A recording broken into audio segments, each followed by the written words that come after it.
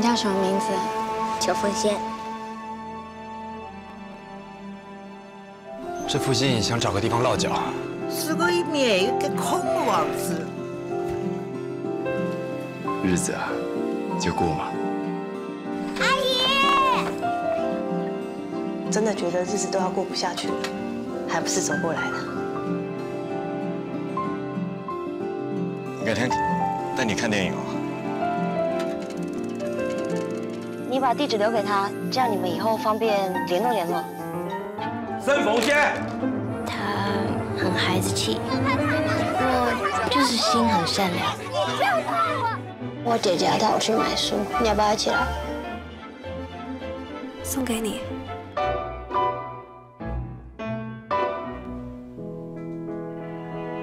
很适合你。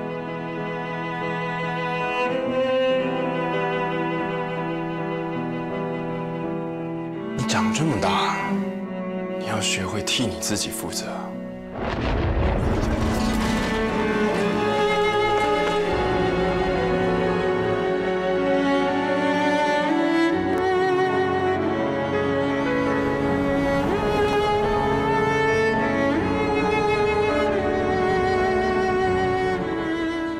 大家好，欢迎收看《异想世界》，我是张凯英。以台湾近代三部曲享誉国际的王彤导演，新推出横跨台湾六十年历史的史诗巨作《风中家族》。今天非常荣幸，我们邀请到导演为我们分享。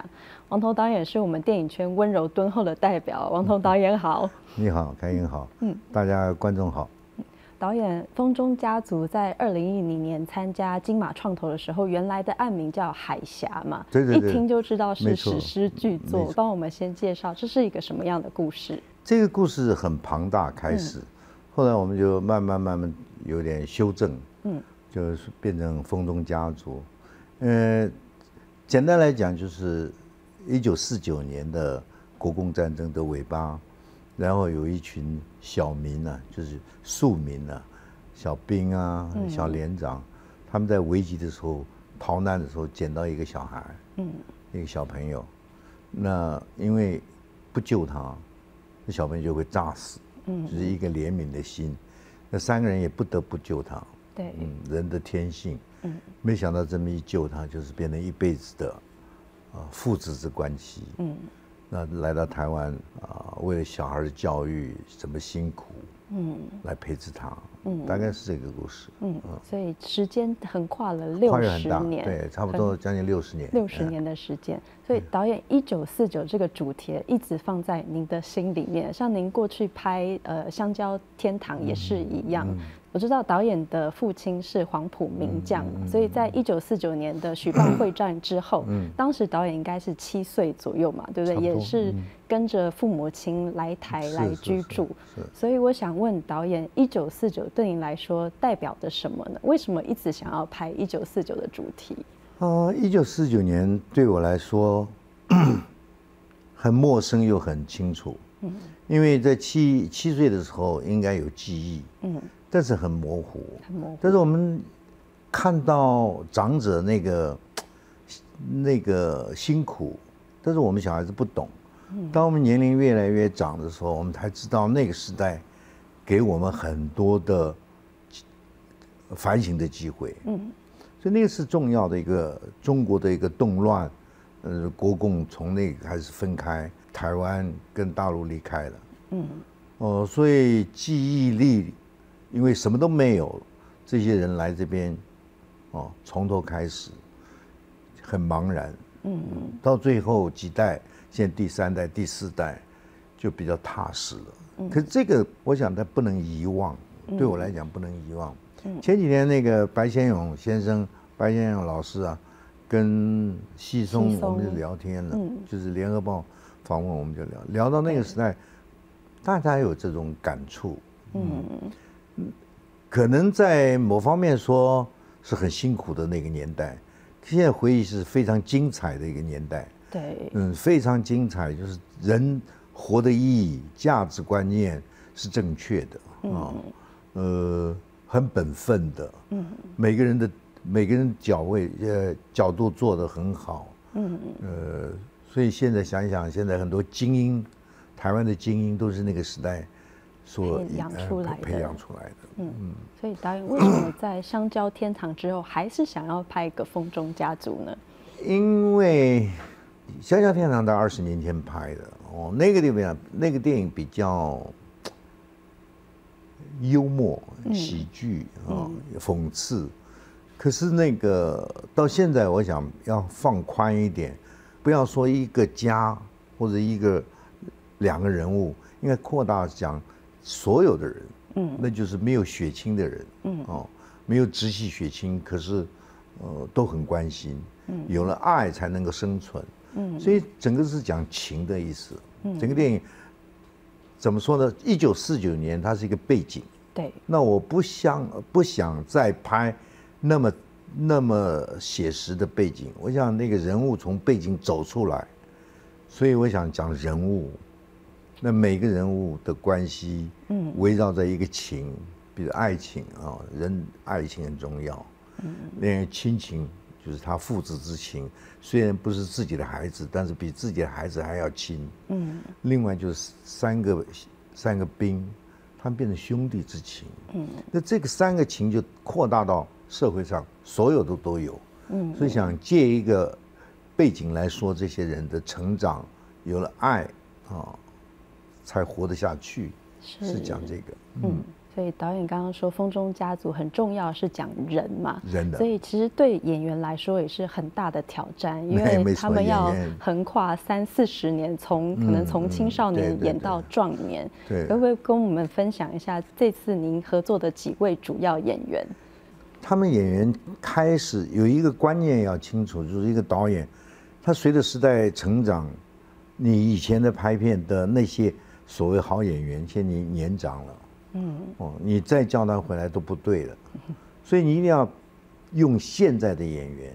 但现在演员大家都有一个呃怎么样死板的观念，他们现在是偶像剧的演员，认为他们不能拍深刻的题材，这个想法是错的。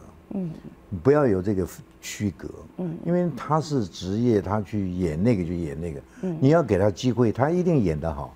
对，所以这次都用了新一代的演员，嗯嗯，主要是杨佑宁了，以这个主轴是杨佑宁，哦，他是当一个小连长，嗯，顶替很负责任的，他个性很耿直，嗯，很有很有人情味，哦，很有哦正派，嗯，坚守岗位，嗯，所以他才误杀了他的呃小舅子，嗯，他误杀了小舅子，他就没有脸回去。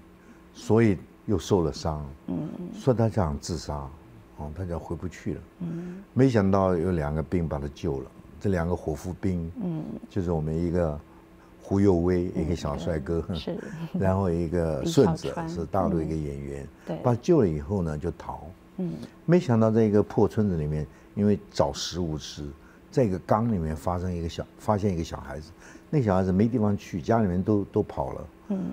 他在里面睡着了，嗯，所以小孩子出现了，嗯，这三个人没办法救他，嗯，三个人就赶紧为了自己的活命，就跑到村头，嗯，没想到小孩子跟出来也被炸了，嗯，所以盛鹏说不救他是不行的，嗯，会炸死，就一个悲悯的心，一句话，所以就叫那个顺子就把他背走了，嗯。嗯。嗯，这三个人就加一个小孩子就离开了。嗯，这一路上他要自杀的时候，没想到他自杀前他那个结婚戒指掉出来了，从口袋掉出来，那小孩子给他了。嗯，他看那小孩子，他就有一个希望，他就想要活的，也等于是他自己的孩子就没有死。嗯，开始他救孩子，嗯，最后是孩子救了他。救了他。嗯嗯，这个是整个电影里面一直在错位的，一直互动的。嗯。错位的好处是，没有绝对的对，也没有绝对的错。嗯，但是中间有一个情感哦维系，三个人都这样维系，再加上小孩子，嗯，后来又认识很多女女演员嘛，我们里面，嗯，所以是大概是这么一个情节。嗯，啊，电影是一个很迷人的行业啊，但电影它决定是一个商业啊，没有钱。不替老板赚钱是不行的。嗯，你赔钱以后没得没得拍嗯但是也不能太过商业。嗯它还是种文化。嗯文化提高，它还是个艺术，还有一个价值观，它还有一个美感的问题，这样子才能提升电影的本质。郭碧婷跟柯佳燕都有超龄的演出啊，对所以导演觉得他们这次的表现开始我有？嗯，开始有点不相信他们会演，嗯嗯，他们的表演，可是你要给，就刚刚讲过要给他机会，嗯可是他们有诚意，我觉得做事情要有诚意就会成功一半，嗯，嗯，他们很想演好，演好嗯，而且愿意演，不计酬劳的来演。嗯那第一个就我觉得这个就是对了，就是诚意，大家核心，所以他们放下心来拍，嗯所以他没有偶像的味道。嗯呃，尤其郭碧婷，到后面演的非常好，那气质出来了。嗯嗯，超龄的气质是读书人学音乐气质都出来了。嗯那柯佳嬿是没话说了哈、嗯她是一个跟接地气的演员，所以她跟盛鹏的感情那场演得很好，很好嗯，嗯非常好。呃，彩杰呢，他是聪明的演员，郭采洁非常聪明，嗯，她可以演很小，也可以很老，她是李纯是语言的，他因为他是 A B C 嘛，对。语言的能力比较差一点，嗯。但是他用心，他拍这个戏，他前一一年就来了，嗯。他就用一年的时间，八九个月来，嗯在台北市生活，嗯，然后我们请一个樊光耀老师教他国语，哦是。啊、八个月才练出来，才上，我们才开拍，当然还是有很多问题，然后再又从美国回来，整个我们剪完以后，他再重新配音，所以口音的部分听就是一个字一个字念给他听的反反光药，哦，是就嗯慢慢慢慢磨出来嗯磨出的来磨出，对，因为大家也对李纯有很大的期待嘛，他毕竟他是李安导演的二儿啊子，，他这个压力很大，压力很大，这所以我们在在在他旁边不提他爸爸，不提他爸爸，提不要给这是他压力。个人的，事情，啊是。不提。那个呃光芒是他的，嗯，嗯，跟他爸爸完全无关。努力也是他自己在对对那个是他的，嗯。我们都都都知道这一点。嗯，剧组要重现四零年代到七零年代的台湾街景，嗯非常不容易啊，因为要去找早期的闽南 跟日式建筑嘛。嗯对后来也在台中的光复新村搭了四五零年代的古岭街景。对对对。所以美术是导演的强项，要不要帮我们分享？当然，这些美术是我本身是学美术，做了几十年的美术，这对我来讲是一个强项了。嗯呃，因为因为对台湾电影来讲，你的强项一定要给下一代，你会，将来年轻人不会。所以嗯我就招招了很多大学美术系的、电影系的学生来做美工，嗯。他们自己也来做，他们帮我很多忙，他们很认真收集资料，我也给他们资料，嗯。那图片解释给他们听，因为他们根本没看过。啊，对看图片，所以一样一样的给他们谈。那个置景，我们整个柯南那个村子啊，就是破落的那个村子，整个建构起来，嗯。搭了四十几间房子。嗯。那街道整个把它改成，花了三千多万来改成一个大道城的一一条街，三条巷子，嗯我们才能拍。所以美术下了很大的功夫了。嗯。一个考据，一个色彩，除了你搭景以外，你一定要清楚电影的布景、置景是为了拍摄，对。所以你要有镜头的位置，嗯。哦，摄影机的位置一定要想，还有一个演员演员动作走位的动线啊调度，这跟一般的房子是不一样的，所以电影美术是另外一个学问了，哦，另外一个学科，嗯。专门要教教小朋友为为影视，嗯。来制造建筑物，来制造一个空间适合剧情的，嗯，呃，喜呃适合光影的色彩，这个是一个美学，嗯，这这这个科目是一个美学科目，是对王彤导演来说的话，美术设计，你觉得做一个好的美术设计的必要条件是什么？敏锐的，要敏锐的，对色彩敏锐，对光影敏敏锐，对场景的空间，嗯。要有一个看法，当然要懂得摄影机了，一定要懂得摄影机摄影机在哪一个摄影机的。景深，嗯。啊，它的摄影机景深，嗯。非常重要，嗯。它移动那个层次，嗯。这个是基本功，这是基本功的，嗯，哦，当然要看很多书，对，一定要读书，不读书是没办法，嗯。也要有想象力，嗯。比如我我考学生，我会给他一篇诗，哦，一篇诗，嗯。然后他从诗里面变成影像是怎么变的，嗯。哦，那个就是考学生对空间的想象跟故事结合是怎么做的，嗯，嗯，了解。所以导演在学校里面也是搭哎呃教是教了非常多的影视科的呃就是电影系的同学教了了十几年，哎是哎，所以导演从过去拍的台湾近代三部曲，呃不管是《稻草人》啊、《无言的山丘》，或是刚刚说的《香蕉天堂》，我们看了都很感动。导演拍戏其实也就拍了三十五年了，是是是所以有没有给新代的创作者，你有什么的建议跟提醒？哦，电影是一个很迷人的行业啊、嗯但电影它决定是一个商业啊、没有钱，不替老板赚钱是不行的。嗯、你赔钱以后没得没得没得拍拍啊、嗯但是也不能太过商业。嗯所以要清楚，我常常问学生说：你为什么要拍这部？第一点，你为什么要拍？第二点，你怎么拍？嗯哦，这两个问题一定要清楚。你自己要爱这个题材，嗯你投入，他就回馈给你。嗯哦，如果你的目的太商业，你脑筋都是钱，那个电影拍不出来，嗯，拍不出拍不出好东西。质感来。对，那画面上充满了钱的符号，哦，很多电影一看，全部是钱的味道。嗯电影还有一种，呃，除了商业以外，它还是一种文化。嗯文化提高，它还是个艺术。嗯哦，它是一个艺术或者一个文化，还有一个价值观。嗯哦，所以电影迷人是这个地方。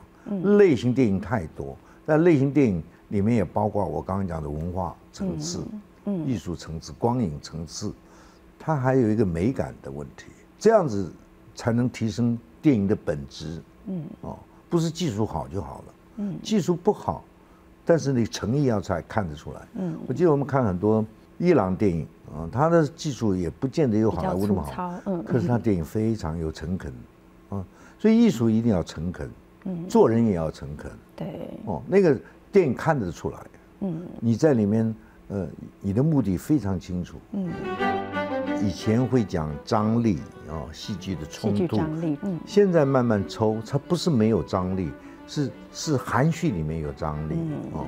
这个张力不是要用很大的力去打它，嗯。它是从里面出来那个力，熬汤一样，开很小的火、去熬这个汤，嗯，花时间去熬出来，那个汤会很很很美味的。嗯嗯。